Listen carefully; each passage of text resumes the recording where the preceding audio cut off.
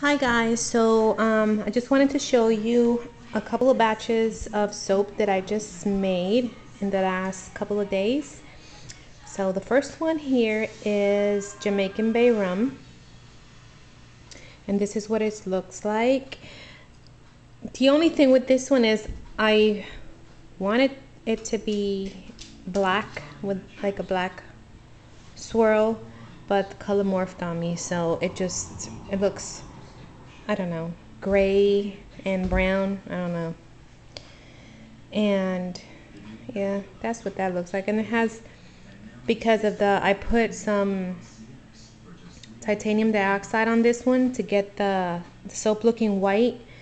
Um, I normally um, dissolve that in in the lye water and then I pour it into the oils but this time I decided to just like put it into the oils and for some reason that didn't work out. So you can see the little um, titanium dioxide um, you know like specks of it that didn't dissolve all the way. But it's not gonna hurt the soap. It's still good. So that one's good. It smells so good. This is my husband's favorite um, soap. And then over here I have Love Spell and I'll show you this one because this is an end piece so this one I'm gonna keep for me. Um, this is what it looks like.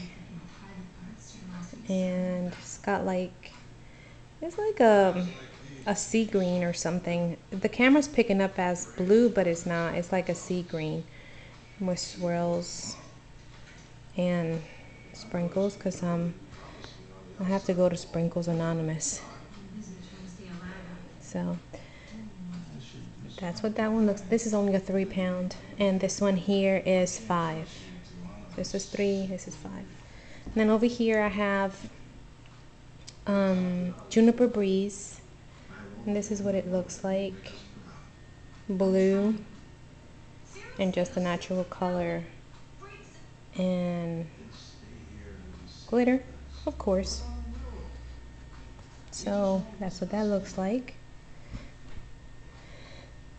right here.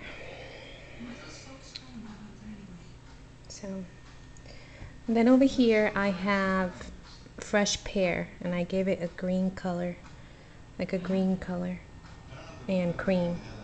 And of course sprinkles. I don't know what's wrong with me but everything has to have glitter except for the guy's soap.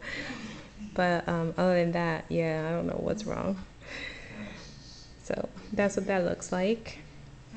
And this one was supposed to be, um, this one here was supposed to go into a mold, of course, and it was scented coconut. And of course, it seized. So I had to, you know, I said, oh, well, I'm not gonna put it in a mold because then I'll have to line it again for another batch. So I just grabbed my silicone little molds and just popped it in there and I says I'll, I'll keep these for me so. But it smells really good and um, yeah but that's what I did with those. And then here I just cut some up. And then there were supposed to be bears but look at that little nose. No nose. And this one too. The eyes didn't show up or nothing because of course it sees so it doesn't go into the mold smoothly so look at this one. A one eye willy. So this one has no eyes. He's blind. So and and it got all kinds of holes.